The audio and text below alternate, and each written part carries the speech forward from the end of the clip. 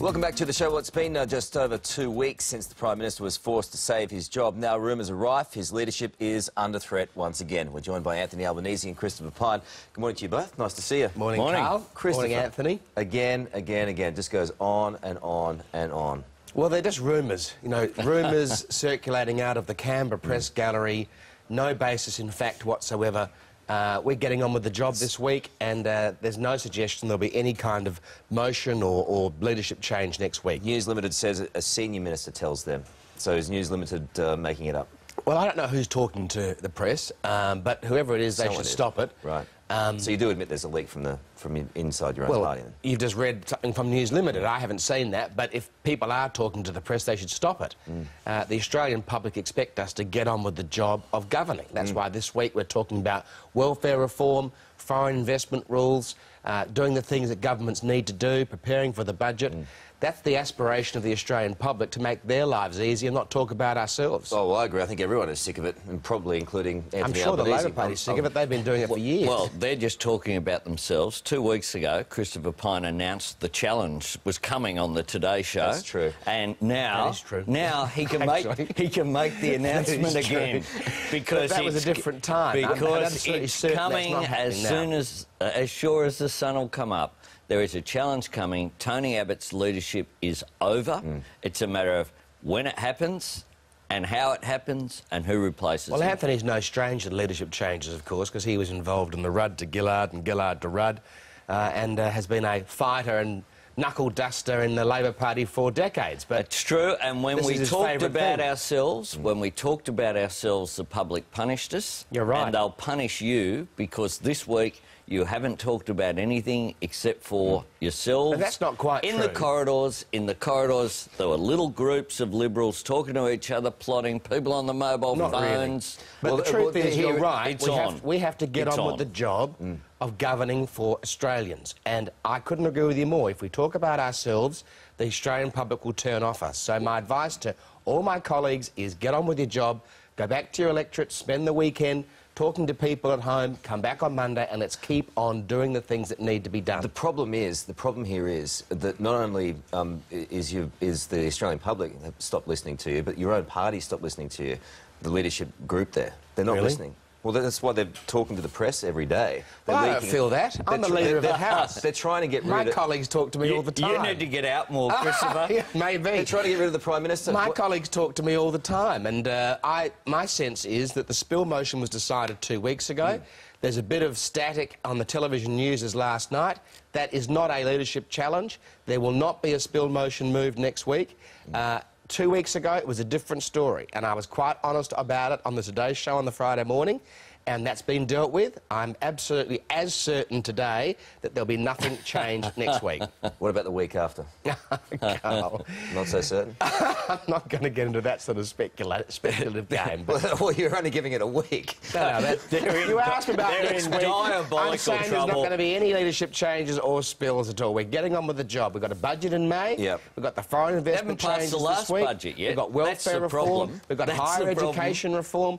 We are doing all the things that need to be done to get our economy moving. And there are actually lots of positive stories in the economy. Job ads are up. Retail trade is up. Growth is up. up. Well, you're com- focusing on one Highest, thing. What- highest We're in creating 12 years. 600 An jobs extra a day. 100,000 600 people. new jobs a day. An extra You were creating 100,000 200 jobs a day. since you came to office. And the problem you've got, Christopher, is that you have produced a budget already, and it's a dog of a budget. No, it's not. 300 of the Australian 400 people- programs in the budget The have been Australian passed. people have rejected it, and your own caucus is rejecting it. Rubbish. You can't just assert things as... We had 300 out of 400 measures of the budget have passed the Senate. So it's not true what couple you're of, saying. couple of quick things to get through. Um, uh, the, the evidence of Human Rights Commissioner Gillian Triggs, um, uh, it might have been a little bit all over the shop at, at, at various times uh, during testimony, but did Tony Abbott go too far, do you think? No, the truth is that we've got the people, out, the children out of detention that Labor put into detention. no, but let's talk about let's talk about her though. Um, and uh, Julie Bishop has admitted that there may have been some sort of offer. And do you concede that, that, that an offer was made to her? Well, it's a bit of a he said, she said kind of uh, story between the Secretary of the Department Wa- and the was she offered Human a Rights job or not? Commissioner. Well, uh, no is the answer. No. Uh, it appears from the papers this morning that she apparently asked for a, a new Nah. job. So I don't know. I wasn't part of those conversations. The gravamen of the story, though, is that we got the kids out of detention that Labor put into detention. you did have an appalling record with kids in detention. There was 2,000 there. It was a debacle. Both sides, Two- both sides in politics Yep. have a poor record We stopped in the terms boats, of you didn't. in terms of kids in detention. You kept kids in detention. Uh, unnecessarily stopped processing people We stopped You didn't make in it any- order you to, didn't make it in better. order To to, be put fair, you didn't pressure on the better. Senate. I accept that both sides of politics need to do better.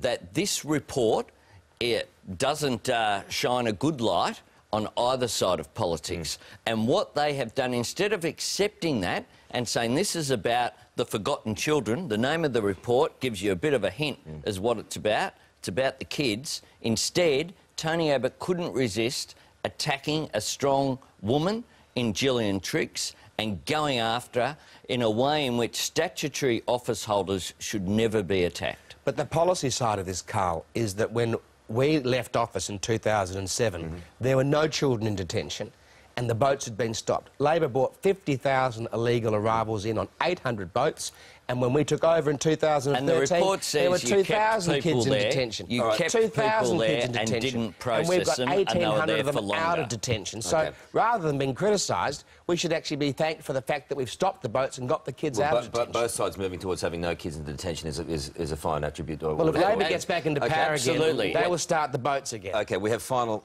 You're conceding that Labor will be in power again. If Labor gets into power again, I said. That's rolling out I said, quickly. no, I didn't concede that. I said, if Labor gets into power again, the boats will start again. Well, the if Labor gets into power again, they'll bring the carbon tax back as Oh, well. here Right, we go. hang on, They're hang back on, to the three-word hang on. slogans, Sure. which is why they're in trouble as have. a government. You've said you'll bring the carbon tax You're the back. government. But Please. you've said you'll bring the carbon. Tax back. We have not.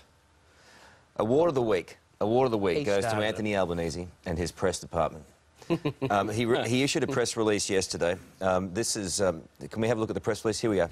This is in relation to a media statement um, on the news that Sydney Airport Corporation Chairman uh, Max Moore Wilton, who is a very good friend of Anthony Albanese, um, plans to retire.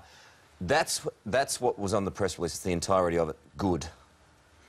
Now, Sometimes one word can say a lot, Karl. what are you doing to save the trees? Sometimes, sometimes one word can say more than a thousand words. It's the first time Anthony's ever been able to answer a question with one word. Oh. How are you going with that, Chris? Good. Oh, that's clever. All right, that'll do, guys. Thank you very much. Nice to see you all. Thank you. Good to see you. Lisa. How good's a one word slogan?